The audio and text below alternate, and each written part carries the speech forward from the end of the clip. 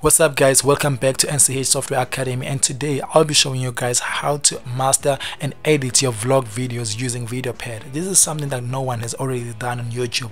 I'm the first person to ever do this and i'll be dropping two videos on this series just to celebrate mr beast month. So obviously for those who didn't know mr beast was born on may and to celebrate mr beast month and to show love to mr beast i'll be dropping two videos each and every week something that i never did before I failed. I say I will do it this year and I failed, but right now I'll be doing it. Please do check my video on uh, vlog videopad for vloggers and please do enjoy the series. Please leave the comments so that you can let me know um, what I shall do next. Please.